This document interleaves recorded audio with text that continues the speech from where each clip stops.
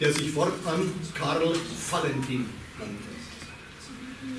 Es begann ein äußerst vielseitiges, vielschichtiges, abwechslungsreiches Künstlerleben mit vielen Hochs und vielen Tiefs, geprägt von seiner ebenso vielschichtigen wie nicht immer einfachen Persönlichkeitsstruktur und den nicht minder schwierigen Zeitumständen der ersten Hälfte des 20. Jahrhunderts.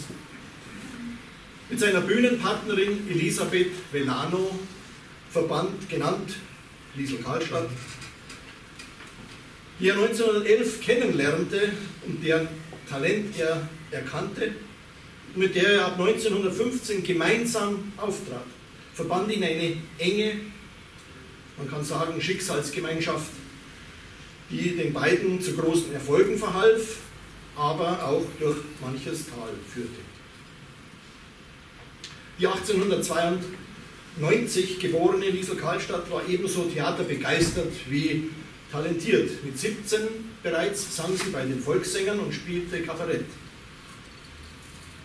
Obwohl Liesel Karlstadt zu ihrer Zeit immer im Schatten ihres berühmten Bühnenpartners stand, weiß man heute, dass der Anteil Liesel Karlstadt an den Erfolgen des Duos immens gewesen ist. Sei es durch ihre Mitwirkung bei, den, bei der Erarbeitung der Texte, der Inhalte der Stücke, als auch ihre stete Fürsorge für den mitunter hypochondrisch veranlagten Karl Valentin. Diese Aufgaben und die komplizierte persönliche Beziehung der beiden zehrten stark an ihrer physischen und insbesondere an ihrer psychischen Kraft, schließlich zum Zusammenbruch führte, von dem sich Liesel Kallstadt nur sehr mühsam erholte. Letztendlich brach das berühmte Komikerpaar auseinander. Mitte der 30er Jahre ebbte auch Karl Valentins Erfolg zusehends ab. Während des Krieges trat er gar nicht mehr auf, schrieb nur noch. Anfang 1948 hatte er nochmals einige wenige Auftritte zusammen mit Liesel Kallstadt und am 9. Februar 1948 starb Karl Valentin an den Folgen einer Lungenentzündung und wurde am 11. Februar 1948 an einem Aschermittwoch in Bernick beerdigt. Vertreter der Theaterszene und der Stadt München waren nicht in seinem Grabe. Erst seit den 1960er Jahren wurden Karl Valentin und Liesel Karlstadt und ihre Werke allmählich wiederentdeckt, was bis heute ungebrochen anhält. In welche Literatur oder Theatersparte ist nun ihr Werk einzuordnen? Eine spannende Frage, die zu beantworten wir nicht vermögen. Wir brauchen uns dessen nicht zu schämen, denn das haben auch ausgewiesene Fachleute der Literatur, des Theaters und der Philosophie bisher nicht vermocht. Valentin sagte angeblich selber, wir wollten doch nur, dass die Leute lachen. Aber vielleicht wollten sie die Leute nicht nur zum Lachen, sondern auch zum Nachdenken anregen. Uns jedenfalls ist bei den Proben eines ganz stark aufgefallen. Wenn auch die Stücke in den 20er und 30er Jahren des letzten Jahrhunderts entstanden sind, ist in ihnen viel heutige Aktualität enthalten. Es ist, als hätten die beiden in die Zukunft blicken können.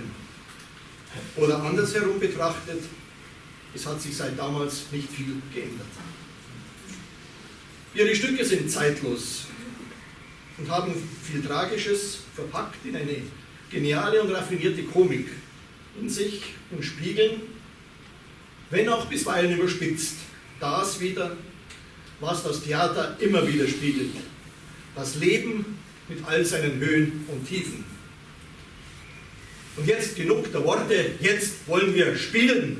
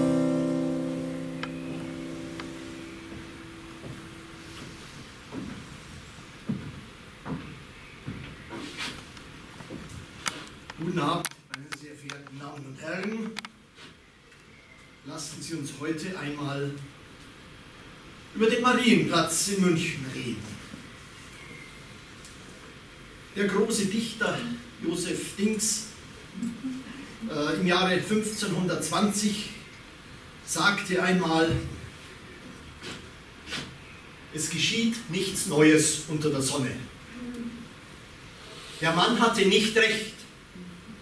Oder vielmehr, er hatte nicht die Gelegenheit, heute über den Marienplatz zu gehen. Der Marienplatz vor 100 Jahren, siehe Meilinger Sammlung. Der Marienplatz heute, siehe Marienplatz. Schutzleute zu Podium, früher zu Pferd, und Schutzleute zu Fuß tun ihre Pflicht. Der Marienplatz ist voll von Menschen, von Kindern, Automobilen, Radfahrern, Hunden, Tauben, Glockenspielen, Straßenbahnen, Pflaster, Inseln, Wasserpfützen, Bogenlampen, Zigarrenstumpen, verfallenen Straßenbahnbilletten, Kontaktdrähten, Benzingestank und so weiter und so weiter. Das sind die gegenwärtigen Requisiten des Marienplatzes. Was treiben diese Requisiten? Die Schutzleute dirigieren, die Menschen folgen nicht. Die Gaffer gaffen, staunen, betrachten, grinsen, spotten. Sie sind noch biedermeierisch veranlagt. Sie können sich noch nicht an das Großstadtleben gewöhnen. Die Automobile hupen, die Radfahrer warten, die Hunde stören, die Tauben fliegen, das Glockenspiel klingt hell und rein. Die Straßenbahnen kommen daher und fahren dahin. Das Pflaster wird betreten, die Inseln ebenfalls, die Wasserpfützen ebenfalls. Die Bogenlampen brennen nachts.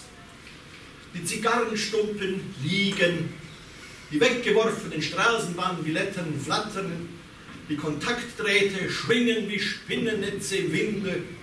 Der Benzingestank ist tagtäglich und somit der gesamte Zustand unerträglich. Die Verkehrspolizei will nun das Beste.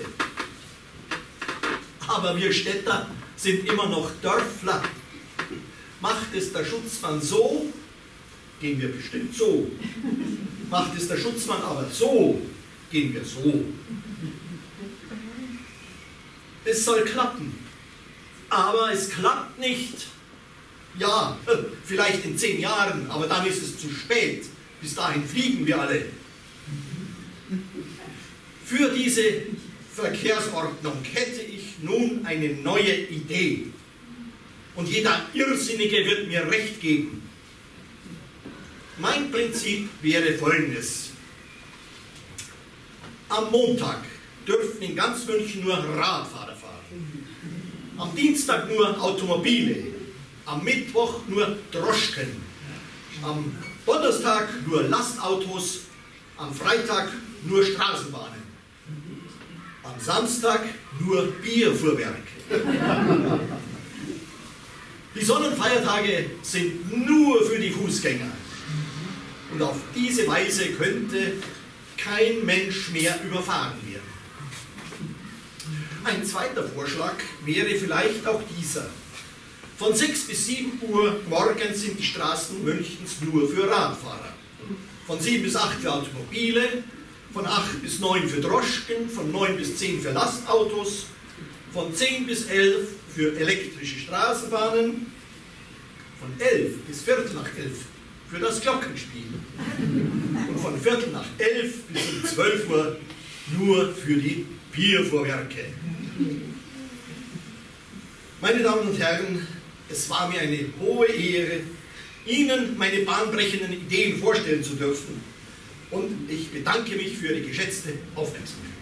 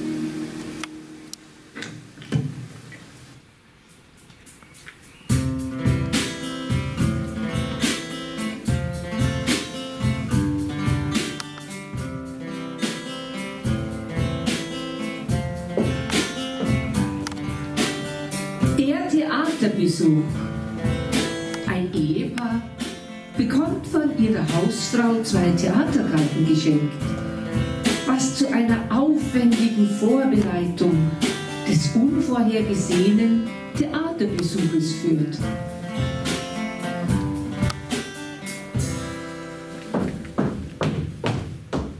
Du Alter, denk dir nur, jetzt gehe ich eben über die Treppen rauf und da begegnet mir doch glatt unsere Hausfrau.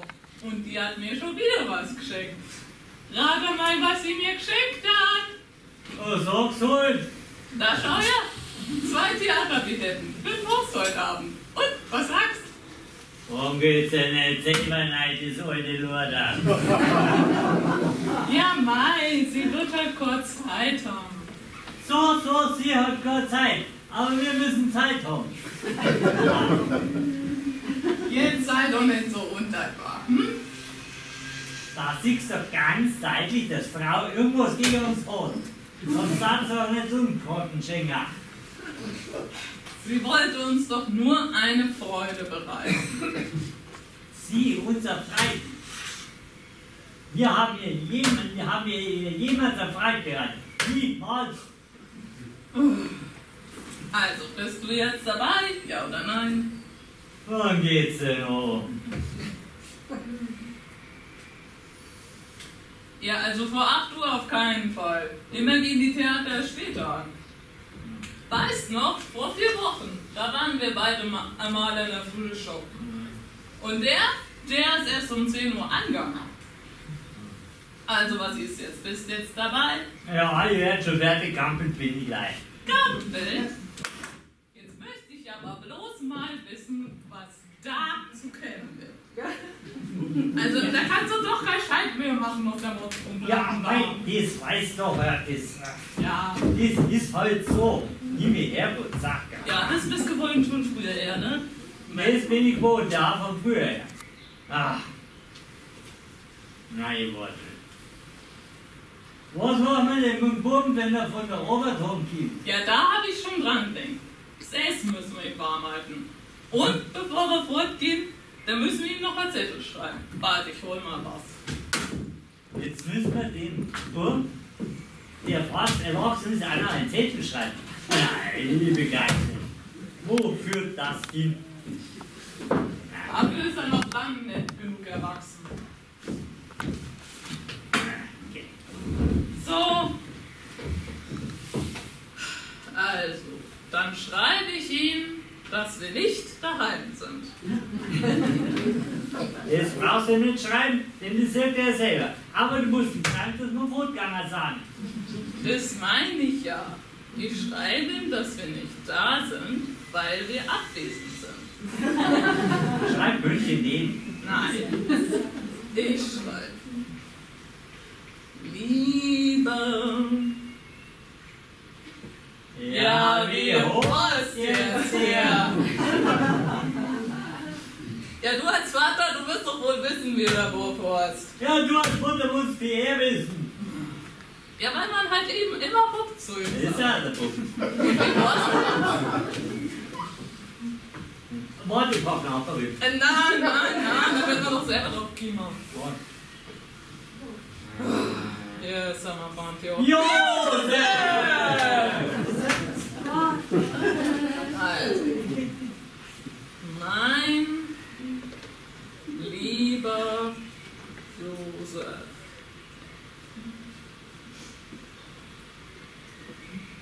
Das große nicht schreiben, weil er mir angehört. dann schreibe ich halt unser lieber Josef, dass endlich mal eine Ruhe gibt. Sehr geehrter Herr, unser lieber Josef.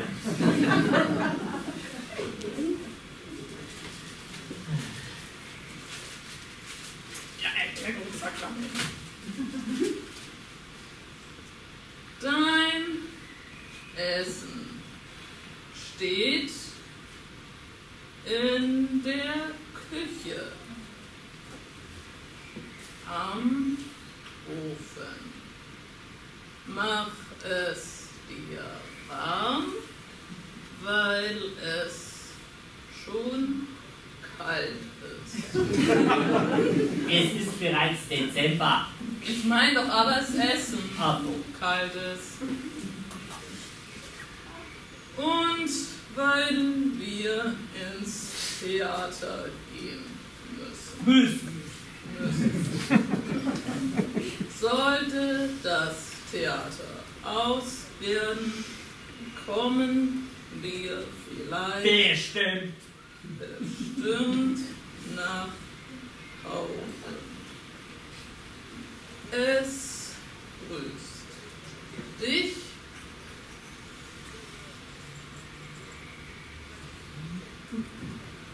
Hochachtungsvoll. deine fortgegangenen Eltern nebst Mutter.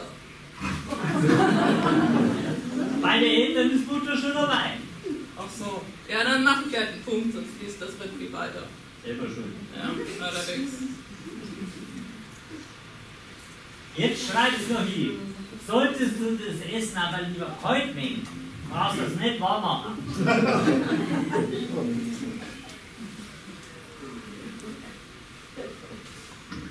Weil es sonst zu kalt wird.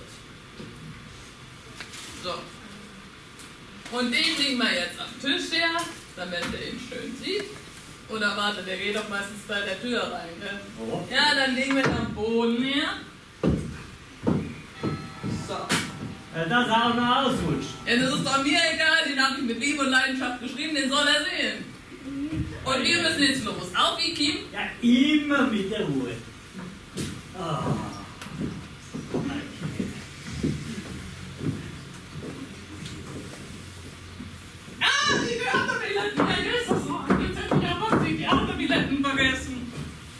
Er hätte es heute vergessen. Da brauche ich mir nicht den depperten Faustgänger. Die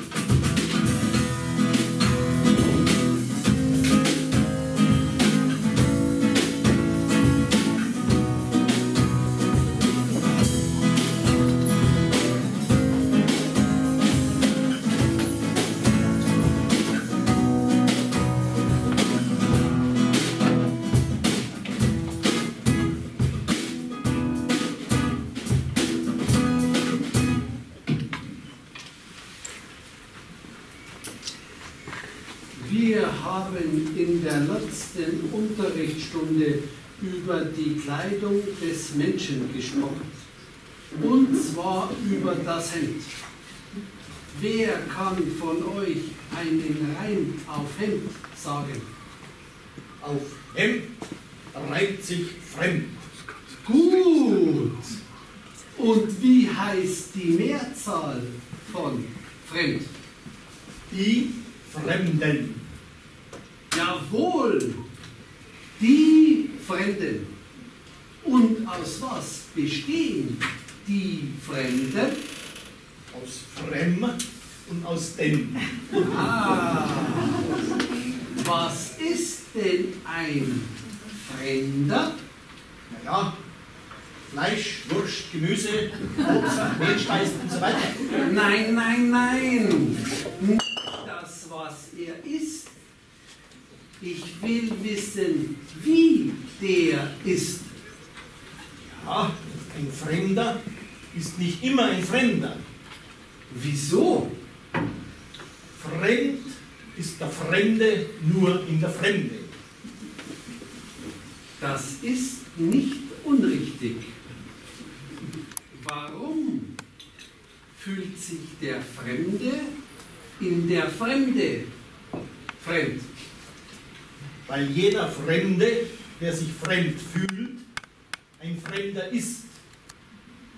Und zwar so lange, bis er sich nicht mehr fremd fühlt. Dann ist er kein Fremder mehr. Sehr richtig. Wenn aber ein Fremder schon lange in der Fremde ist, bleibt er dann immer noch ein Fremder? Nein, nein, das ist nur so lange ein Fremder, bis er alles kennt und gesehen hat. Denn dann ist ihm nichts mehr fremd.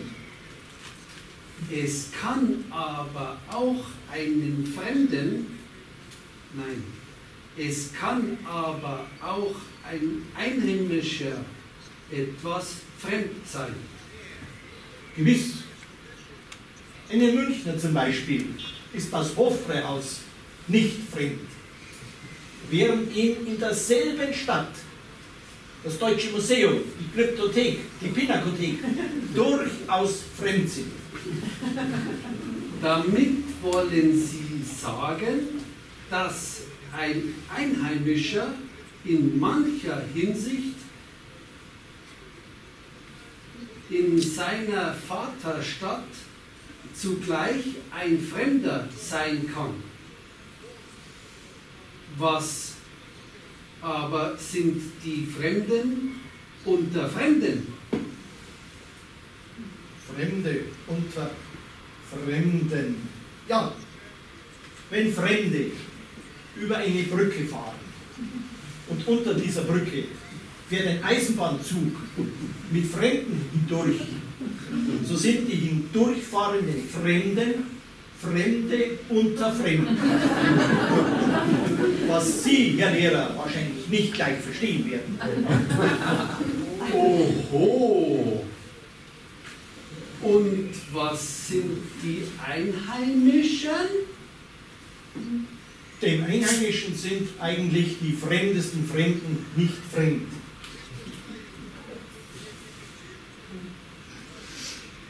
Der Einheimische kennt zwar Fremden nicht, aber er kennt auf den ersten Blick, dass es sich um Fremde handelt.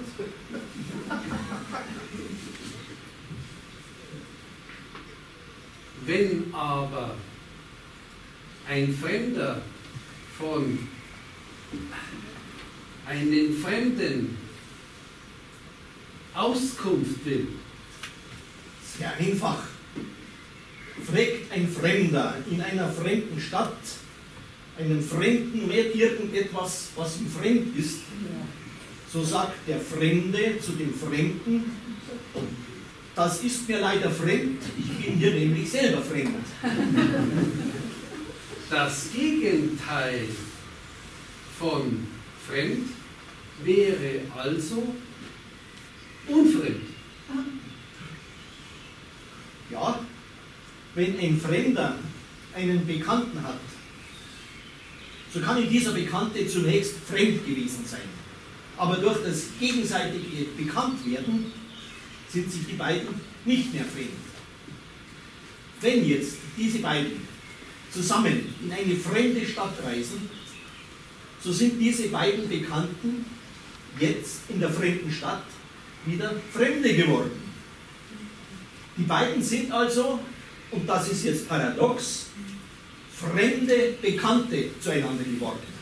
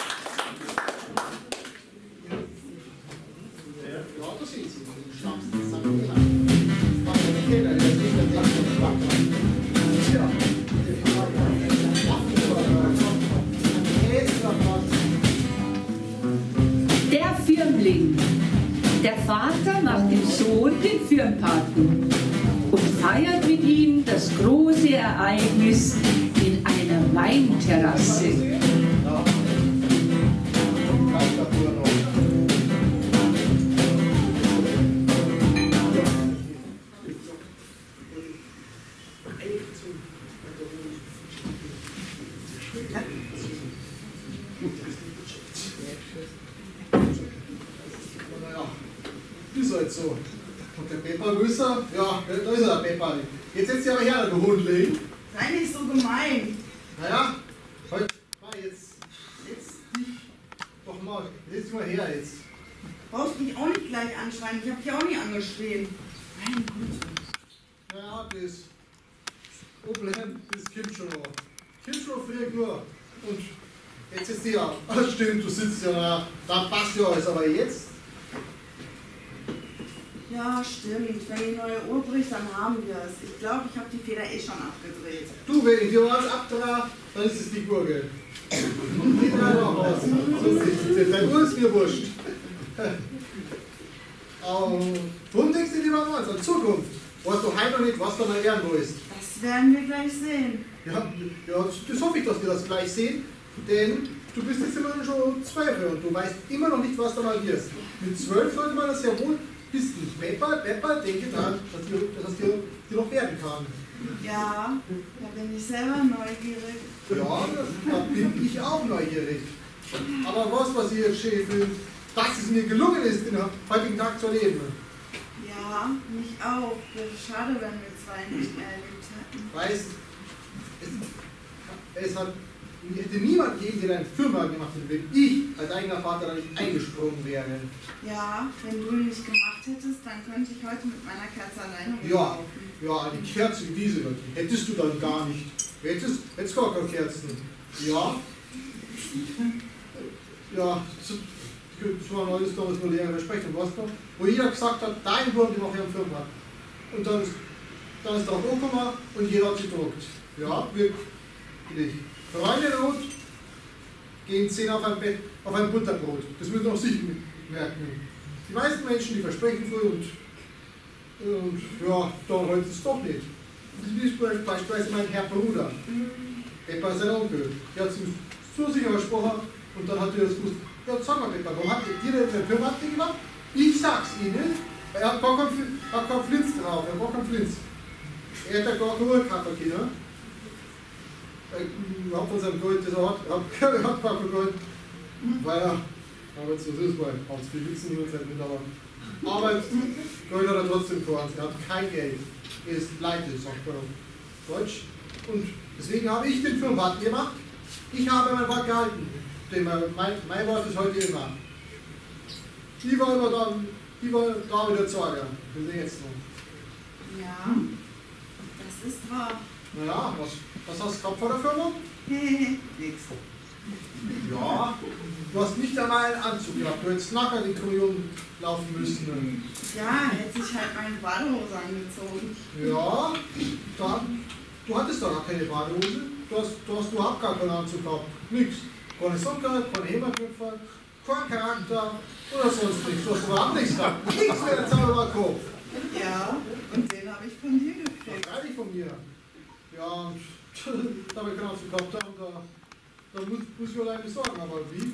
Aber ich sage, das, das leicht ist auf die Frage, leicht mir. Deswegen, ja, wenn ich irgendeinen gefunden habe, der gepasst hat, dann habe ich gesehen, ja, jetzt, jetzt fühlte mich, das kann ich mir nicht leisten, war sofort klar. Und habe mir woanders im Job, das war schon ganz, ganz München. Ich war, ich war auch hier in Mosach, aber auch da bin ich nicht fündig geworden. Und ja, was bin ich da gelaufen? Ich bin, bin jetzt 53, zugelaufen kann ich nicht mehr. Und deswegen ist das gar nicht überhaupt wert. Da kann ich mir überhaupt zurückschauen. Und dann in, dann in Schwabing, da steigt sich ein Zufall ein, ich triff auf den Erlacher Franzl. Ihr kennt sie vielleicht nicht, vielleicht doch, ich weiß nicht, sondern ich glaube, ihr kennt da den Erlacher Franzl. Aber das ist ein alter Kriegskameraden. Seit 1915, damals sind wir in Deishofen gestanden. Ne? Deishofen, als da gerade die Franzosen engagiert sind. Da waren wir in Deishofen. Mann an Mann, Brust an Brust. Haben Deishofen an der Isar. Da haben wir gesagt, Mann an Mann, Brust an Brust, beide Gewehr in. Und ja, und eben dieser, diesen Irrer Frankfurt habe ich dann auch verzeugt, dass er einen Computer zum Kaffee holt. Und warum war es ein Zufall? Ja, der Erderwachsen sein Bruder ist abgeführt worden und hat gesagt, er schenkt mir den, den Anzug von dem Seil. Ja, mein Franz, war, das ist einfach großartig, was sage ich. Aber die Sache hat garantiert einen Haken, denn es, eins ist doch nicht gesagt, dass dieser Hundskrippe was, das ist ja einmal was, sage ich ihm. Ja, aber kurze Rede, langer Sinn, Gerda war schon der bringt den Anzug, der Pepper, der zieht den Anzug an und Bastarder! ja, ich sage es, die nur einmal, dass der Herr Franzl den Anzug hergemacht hat und der Pepper ihn anzieht, da passt er ein Gott, schauen Sie sich an. So souveräne Angelegenheit. Für Sie mag das wie das Normalste von der Welt bringen. Aber, meine Damen und Herren, eines muss bedacht werden. Hm. Er hat meinen Buben mit kein Engagement, nicht der nicht, wir haben hier den ab. Wir haben uns erst ewig gesehen, also jetzt gesehen haben wir den Pepper noch gar nicht auf der, auf der Welt. Und ja, da können wir nicht wissen. Ich meine, jetzt sein Bub auch nicht sehen. sehen und ich weiß nicht, vielleicht ist sein Bub, wahrscheinlich ist das eine Missgeburt. So ein Stopsi. Aber deswegen, nur weil, er gleich alt ist, hat es noch gar keine Garantie, dass er passt. Den, der, den, das sein Bruder war ganz klein, sein, der war vielleicht was größer, aber der meinige ist gewachsen wie eine Hyazinthe. Schauen Sie an,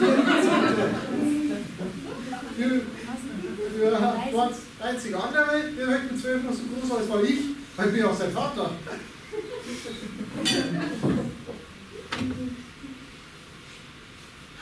Ja, mei, das war richtig groß, das ist echt großartig, das ist echt gefeiert werden muss.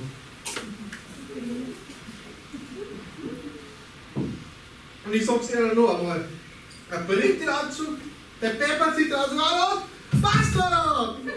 Ja, was ist jetzt? Haben wir Erdbeben hier? Hier mitten im Landesinneren, das gibt's doch nicht. Ja, Kruz in Türken. Ja, klar, jetzt kann man sich auch noch tun, weißt du, was ist 13 oder so, ein paar nicht kennt. Der Kruzifix ist mir schlecht, die Speibkleid. Ist doch das Verbannte. Was denn jetzt? Papa, mir ist so schlecht. Ach so, mir ist auch schlecht. Papa, ich möchte nach Hause. Ich auch. Mann, steh doch auf. Lern jetzt so, ich versuch's. Oh, du schaffst alles. Ich schaffe es nicht, ich krieg's nicht. Ja. Was hast du denn? Ein Rausch, das siehst du. Ach, der legt sich gleich am Boden in der faule Kerl. Mach, steh doch auf, mir ist dir selber so schlecht.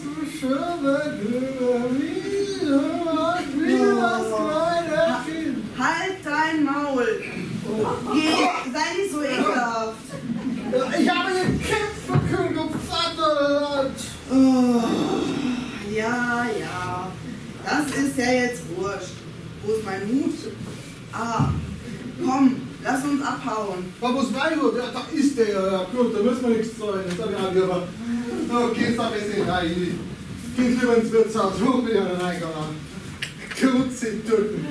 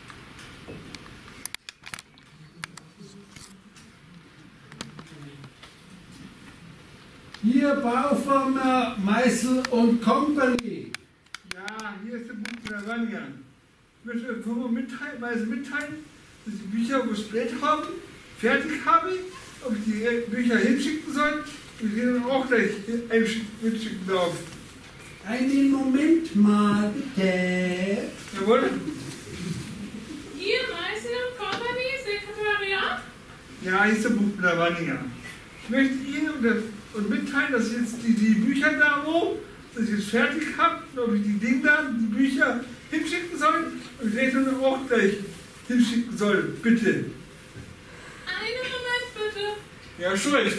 Hier die Direktion der Firma Meißel und Company. Wo kann ich dienen? Hier ist der Buch der Wanninger.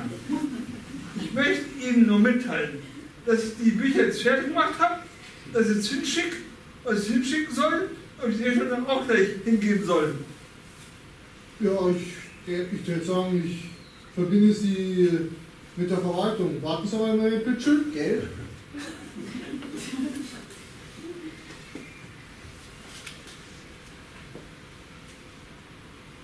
Hier die Baufirma Meißel und Company. Entschuldigung, ich war. Jawohl, hier ist der Buch der Wanninger.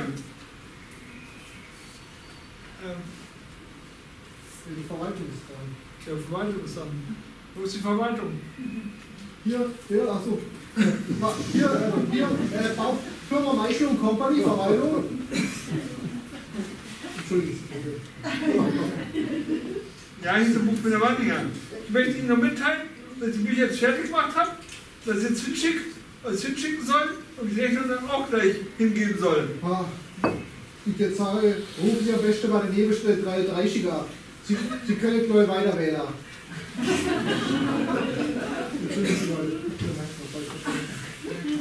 So, jawohl, ist schon recht. Bitte, danke. Bin neugierig.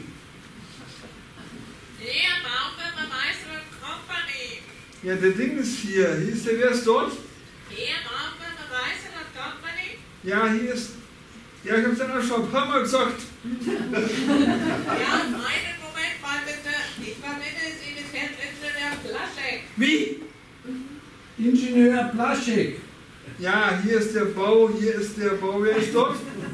Hier ist der Buchbinder Wanninger.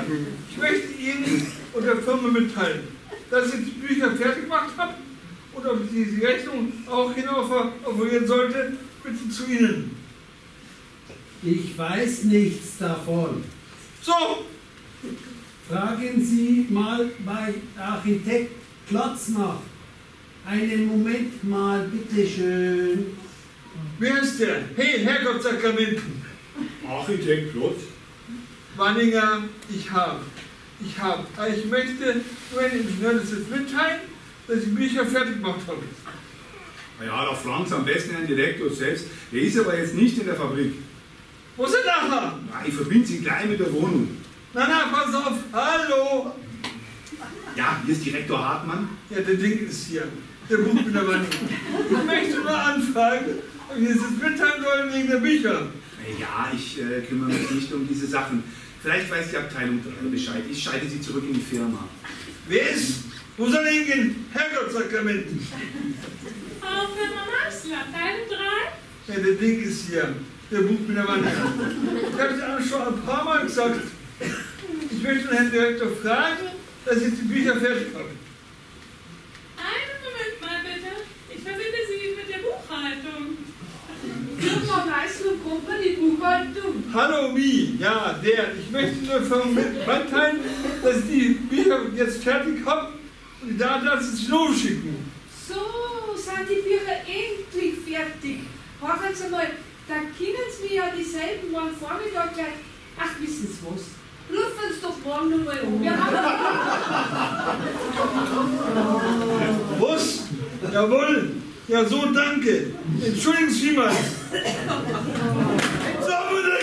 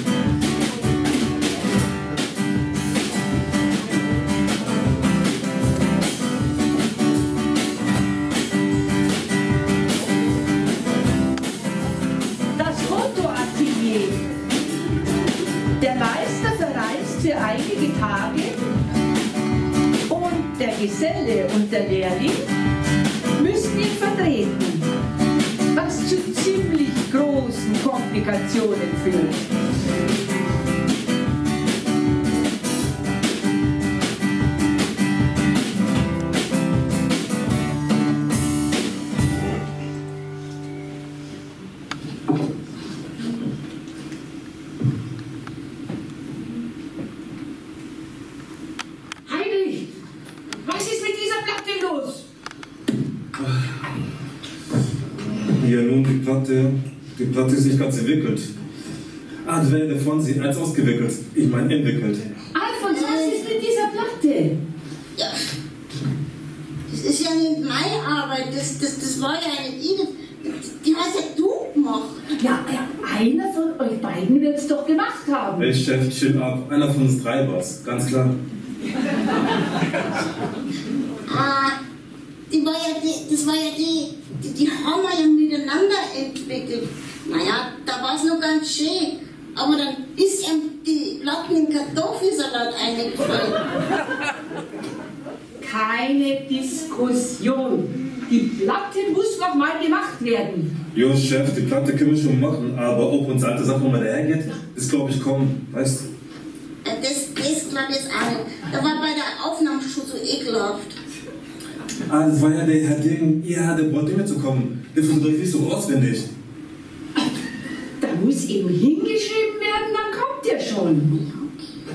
Also, und dass ihr es wisst, ich fahre jetzt für zwei Tage weg und ich habe eine geschäftliche Angelegenheit zu regeln und in zwei Tagen bin ich wieder zurück.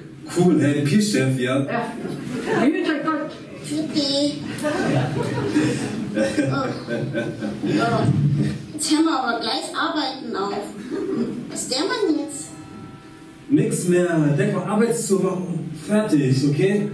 Du gehst runter und lässt der Grammophon und dann hängen wir hier ein paar Lampen auf und mal die nächste Nacht. Und ich, ich tue ich tu mit mir hin. Ja, ich muss mal an. Ja.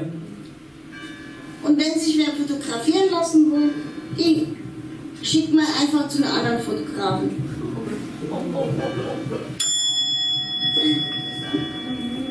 Soll ich aufmachen? Nix aufmachen, wir chillen, haben wir gesagt, okay? Chillen. Surfst wirst nicht schon wieder. Was unverstehen Leute gesessen da? Heinrich, Alfons, warum macht ihr nicht auf? Ui, der Alte. Uh.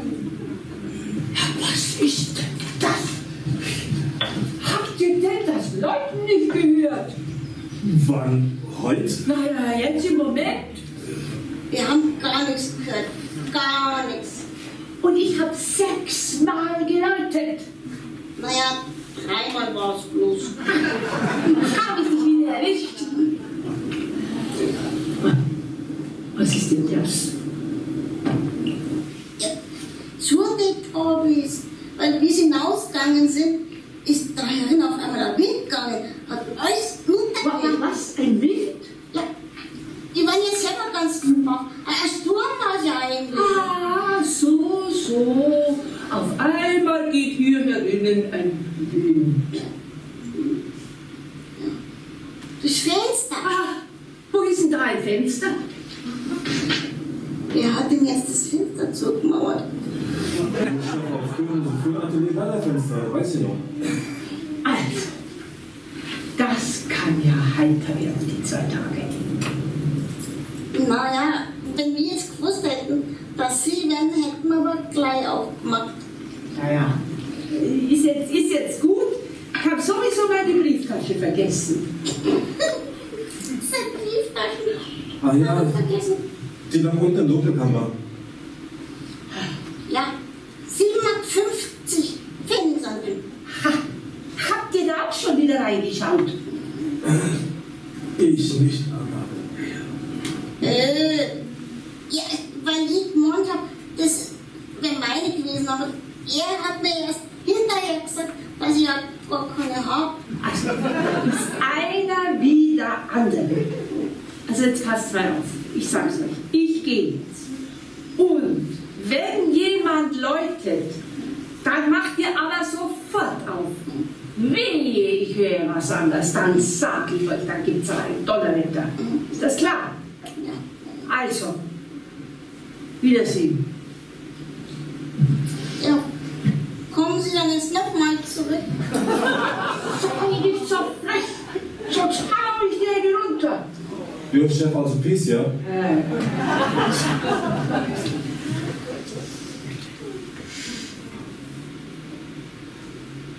Ich hoffe, aber kommt nicht nochmal daher. Wir sind gleich dumm, alle zwei. Ja, das hätten wir uns doch jetzt denken können, dass der jetzt nochmal kommt. Ich kenne doch den Bruder. Ja, das kann schon sein. Aber diesmal garantiere ich dir, dass ihn immer dran kriegt. Weil diesmal, soweit es leitet, mache ich sofort die Tür auf. Oder ich wasche vorher die Tür auf. Wir sind auf der sicheren Seite. Verstehst du? Ja. Und ich stelle mir jetzt daher und warte bis morgen auf die Nacht. Und wenn er kommt, ja, dann reiße ich auf.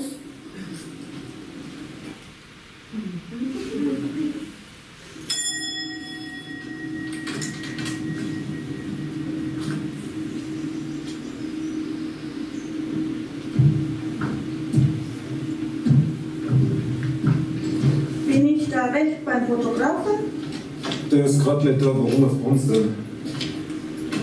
Mein Enkelkind der möchte fotografieren lassen. Ähm, haben Sie dabei? Ja. Ach, ist natürlich zu fotografieren. Ja, also wollen Sie jetzt das Kind fotografieren? Der Fotograf ist gerade nicht da, hab ich doch gesagt. Na, dann warte ich halt, bis er.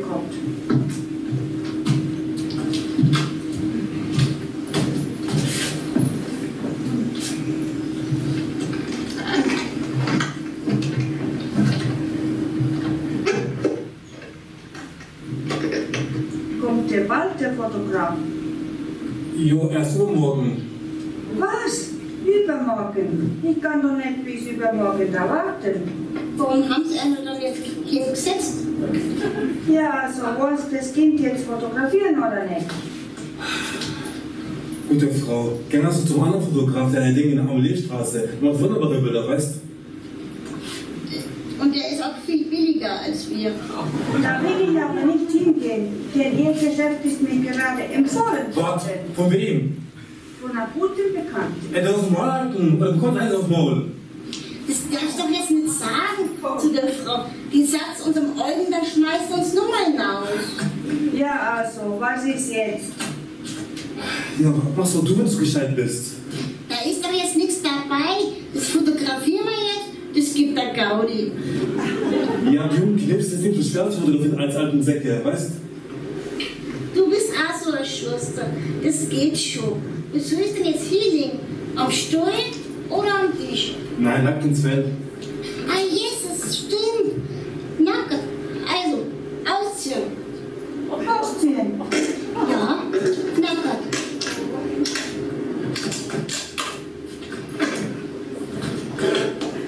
So, mit Pappeinlegen, 17 mal 13.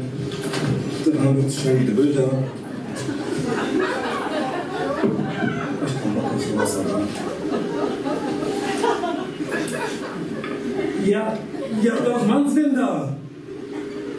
Ausgezogen, hab's gesagt. Nicht Sie, das Kind Sie ausziehen. Ja, so als Kind. Ihr wisst es auf Inseln aber nicht scharf.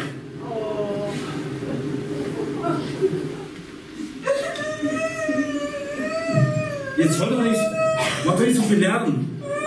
Ey, mach uns ein Foto. Seid doch nicht so laut, hey. Mach ein Foto.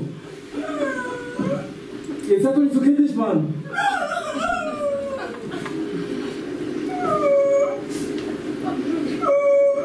So, Frau, Sie müssen jetzt aus dem Bild gehen. Ach, soll nicht drauf. Ich hab gemeint, Sie wie Mutter. Ah, woher? Das soll doch eine Überraschung werden. Ich bin die Großmutter geworden. Ey, mir ist es egal, wenn so größer sind.